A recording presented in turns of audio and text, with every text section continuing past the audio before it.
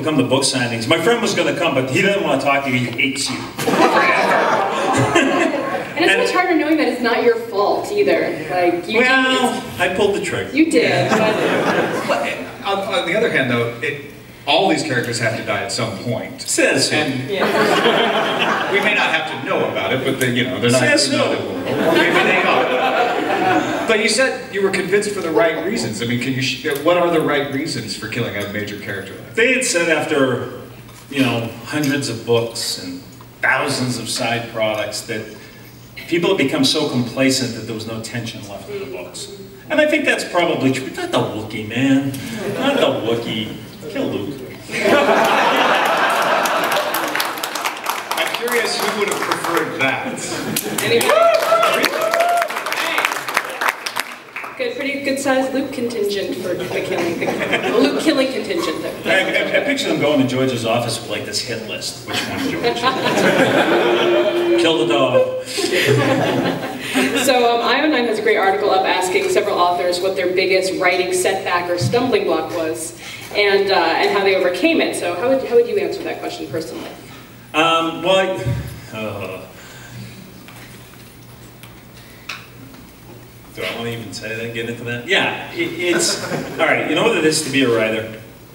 What it is to be a writer is to know with certainty that no matter how many letters you get from kids saying, I never read a book until, no matter how many letters you get from people who are maybe fighting cancer, um, who are saying they're finding hope and inspiration in your characters, no matter how many times you hear from a kid who says, I never had any friends in high school and your books were my friends and Drizzt was my friend.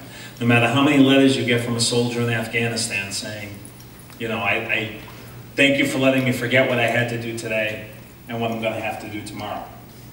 No matter how many awards you win, no matter how many bestsellers you have, no matter how many parades you get to sit on the back of a Mustang in, no matter any of that, and especially in the age of, of the internet, the, to be an author is to know with certainty that there is always going to be someone more than happy and willing and excited to shout out to the entire world how much you suck. okay? And the megaphone just keeps getting And this really just started coming into play beyond belief around the time that book came out that we were just talking about. Now I have to set this up. I had to cancel my book tour for that new Jedi Order book, Vector Prime because the day I was supposed to be at the World Trade Center, Borders, this was in 1999, so it was still there, uh, to start the book tour was the day, the day my brother, who was my best friend in the entire world, was having his last MRI, where they basically said, we can't do anymore. He had pancreatic cancer, 19 months of hell. But anyway, so I had to cancel the book tour. My brother passed away a couple weeks later the book came out, death threats started coming in, hate mail started coming in. Um, for, I would say about two years, and I'll be, I'll be honest about this, I would go to places like Amazon.com and I would look for one-star reviews to feel the pain of them. And the reason I was doing that, and and I, it took me about two years to figure out that the reason I was doing that is because I couldn't actually face what was really bothering me, which was the fact that I just lost my best friend in the world. Um, it took me about two years to get past that. That was, that was a rough, rough time. Um, and the way I got out of it was just by going through the natural grieving process and getting past that, which we, you know, you do, you go on with your life. But also, that book that I wrote at the time when he was sick, a book called Mortalis, the fourth, fourth book of Demon Wars, was my catharsis. And I went back and took a look at that again, and it got me through it. But that, I, it, it's hard for me to explain to people, you know, this whole fame and fortune deal. Keep the fame. Send me the royalty check. The, the, it can be such, you know, to read in the Washington Post that I had to cancel my, the Washington Post, I had to cancel my tour to stay home with my dying brother, who no one in the family knew was dying at that point, except for a very few of us. was was pretty tough. So that was that was definitely sorry to bring you all down to the convention, but I'm over it. So you should be too. Um, so that was that was tough, and, and I, I've actually had to. I've, I've actually been asked to bring other authors under my, when we see young authors coming up and they're all happy and they, they get their first book published and eight of their friends go and give them five-star reviews and yeah, yeah, yeah, and nobody knows them yet. And I'm like, keep your feet on the ground mm-hmm. and be ready. And then the, the assault starts. Mm. Um, yeah, so that, that was my biggest stumbling block right there. Mm-hmm. Thanks for being willing to share that with us, by the way. Yeah.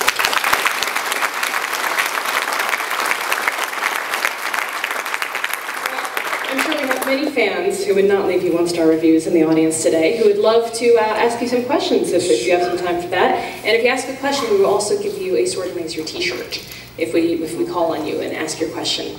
So if you want to, um, should we pass the mic around or should they come up? Come up? Okay. Come on up to There's the a microphone uh, up here.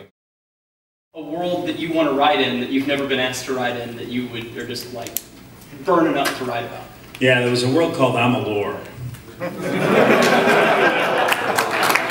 You know, I have to say, I like, I, I liked where that story was going. No, you don't even, no, you can't even say that because 2006, I get a phone call.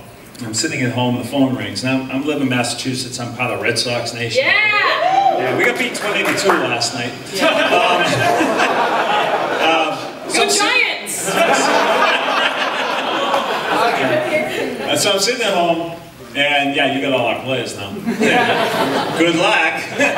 um, and the phone rings, and I pick up the phone. The guy on the other end says, "Can I talk to Bob Salvatore?" And I said, "Speaking." And he goes, "Oh man, I can't believe I'm talking to you. My favorite author. This is Curt Schilling." and bloody sock guy, right? Yeah. And so I'm like, yeah, screw you. You know? My wife is laughing because she, his publicist, they called earlier. And so I finally figured out it really is Curt Schilling calling me. And um, I'm like, oh, I can't believe I'm talking to you. And he's like, I can't believe I'm talking to you. I'm like, I can't believe I'm talking to you. It's 20 minutes.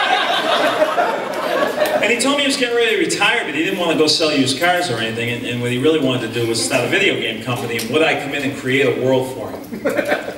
And so I did. And there's a world called Amalur. And I had this incredible team that, first I had my own Dungeons and Dragons group that I got together because I only had two months to do all the research and get it. I had this idea that I can't even talk about now because it's in bankruptcy court and the state of Rhode Island will shoot me if I say anything. I had this idea that I thought really kind of culminated everything I've pulled out of fantasy in my life, and you know what it's done for me and enriched my life. And I had this idea to kind of bring everything together in one place. And I wasn't sure it was going to work or not. And I brought it in and I, I showed the narrative team, and everybody got on board. The art team got on board. This was in 2006. And we spent the next three to four years building a 10,000 year history of this world. And I did the first 5,000 years, and with help, then the narrative team spread, and then they, and I guided them on the next 5,000 years. And then we purchased a company called Big Huge Games from a company called THQ, and they were doing a single-player RPG. And so they, they, had, they built an engine for it. We took our art assets and put it on their engine, and it worked beautifully. And they came up with a game last year called Reckoning. And in Reckoning, my job, I, I, really didn't, I didn't write the story for Reckoning. Everyone thinks I did. No, I did not. That credit, and some of the, some of the story writing in that is brilliant. It's, that credit goes to the narrative team at Big Huge Games. They were amazing and they were wonderful, and I, I just love that team. My job was to listen to their ideas for the various storylines and bring them into the bigger world. Find ways that we could help connect it. It was me and two other guys who were really in charge of the intellectual property at 38 Studios. We would sit down with this team and just help coax them over to some of the themes we were trying to hit. Because the whole point of doing this world was the philosophy behind it, as much as anything else. Like it's not enough. If you, we were making an MMO, a World of Warcraft type game. Now, in an MMO, you know you're going to come back when you die. Okay, I'll just give you an example of how we thought about Amalur. You know you'll come back when you die. That's a given in an MMO, otherwise no one would play. You either you spawn naked in the city and gotta go get your corpse in EverQuest. You spawn in the graveyard in Warcraft and right, and your ghost has to go back to your corpse. So we wanted to add a little twist to that. And so that was, that's the first level, you know you're coming back. And so we came up with something called the Well of Souls. And this is kind of explaining why you're coming back. But anyone can do that, right? That's easy. You can just come up with a name for something. That's the second level. And then the third level is the Well of Souls was developed over 5,000 years by the gnomes for a specific reason that made sense within the world. That's the third level. And then the fourth level is, this is where I really challenge the narrative teams. I said, what would happen in this world if all of a sudden they had an immortality machine? Because that's what we've got. What does that mean? Well, everyone would be happy. No, that's not what it means. Think about it. What happens to the church whose entire power base is predicated on an afterlife? What about all those people who are fabulously rich and powerful at the head of the church, who are suddenly nobody needs them or wants them anymore? Are they going to be happy about it? They may use their money to buy it, but are they going to be happy about losing their power? What about the mother who lost her son? And now is aging and is just waiting for the day when she can pass on because she believes that she's going to see her child again in the afterlife. Is she going to want to go through the machine? What about the, what kind of emotions might the last person whose child or husband or wife or mother died right before those things became active, what might they be going through?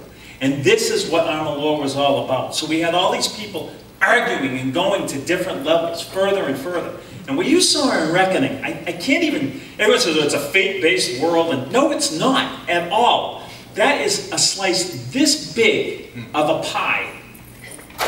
A time and place this tiny to what we had. And the whole thing is under lock and key And it's killing it. because I had a prequel book I was going to write, I got short stories I've written there, and they're all in the Bolton, Rhode Island. Oh, well, all right. Well, thank you very much for answering my question.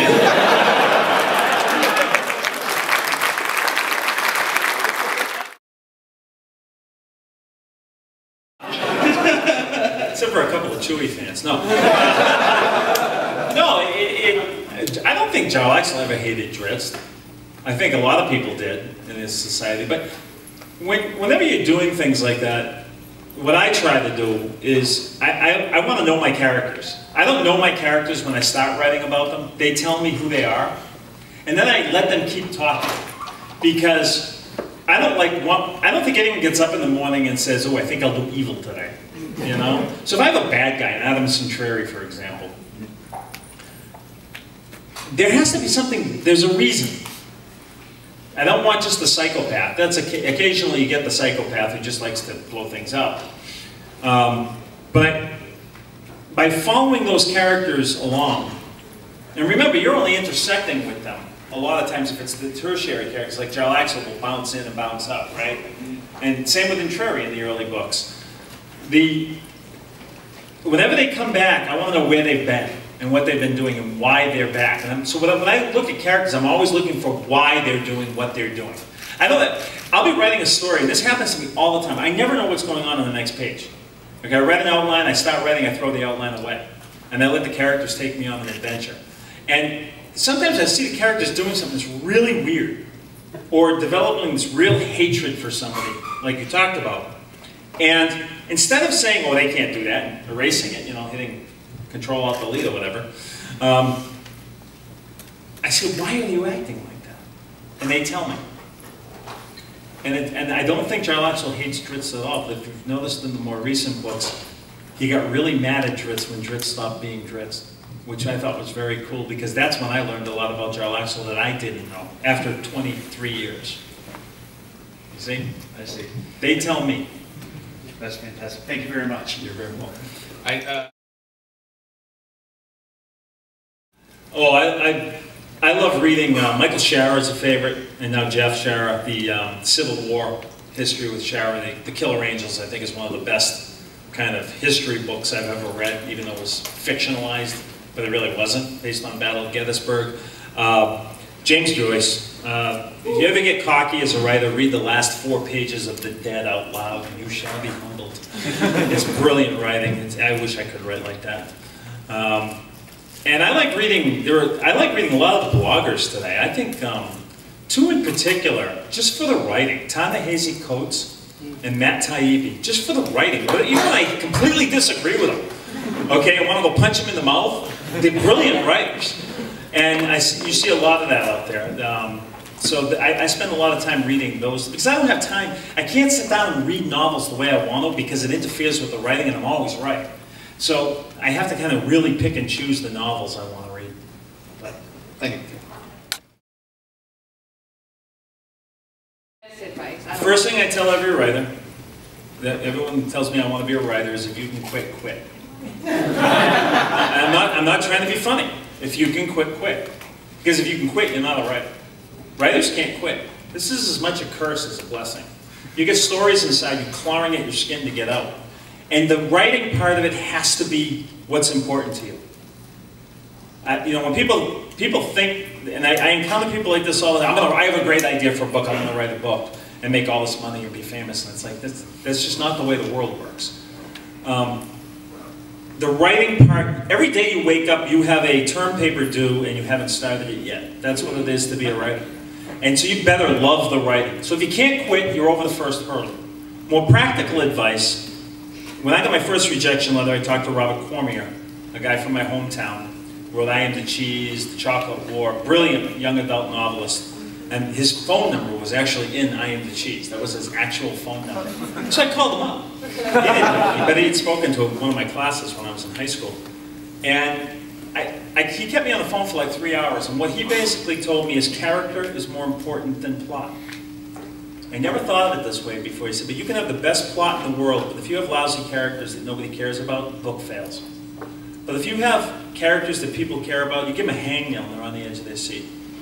So to, I think character is more important than plot. And I think most beginning writers tend to get hung up on having this amazing story with all these twists and turns. Even complicated worlds like Wheel of Time, A Song of Ice and Fire, the storylines aren't that complex. When you really get down to it, it's just characters, human nature taking over and people doing things people do. Right? So character more than plot. And then the third thing, which is the most basic, write every day. You have to write every day. There's no such thing as writer's block. Writer's block is lack of confidence. If you have that, get up now. Sit down and write. I, I don't know what I'm going to do. I don't know what I'm going to do. Start hitting the keys. Something will happen. You may throw it all out tomorrow, but at least your mind is being forced back into your work. And then when you're done, for God's sakes, read it out loud to yourself.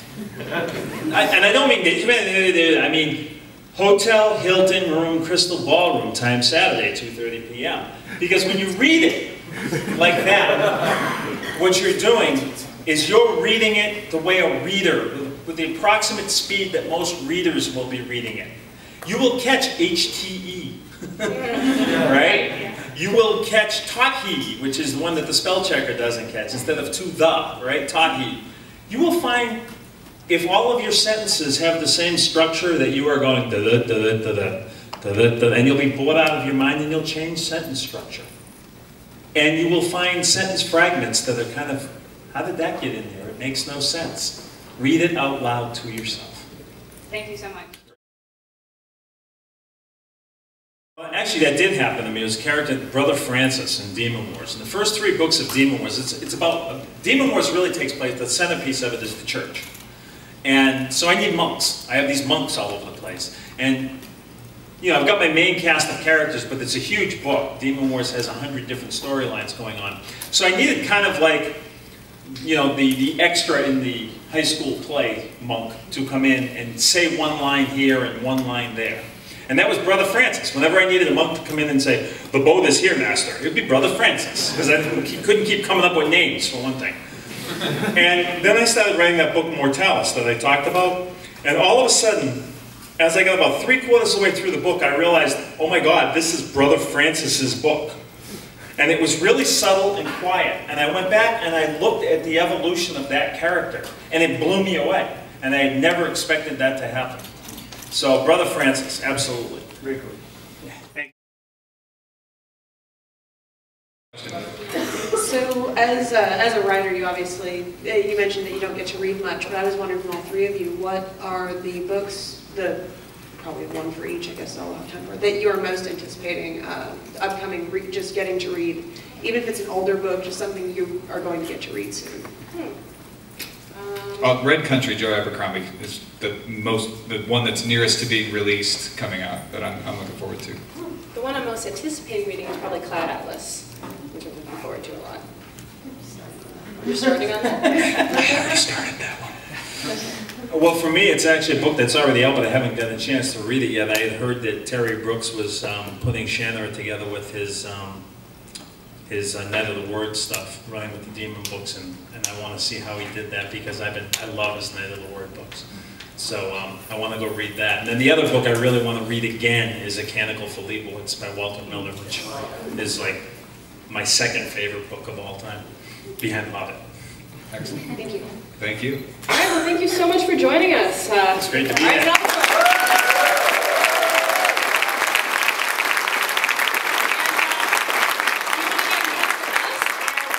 swordandlaser.com. The email address is feedback at swordandlaser.com. And make sure you check out the show on Geek and Sundry on our YouTube channel at youtube.com slash geek and sundry or the audio podcast, which you can find on iTunes or at swordandlaser.com. We'll see you guys next year.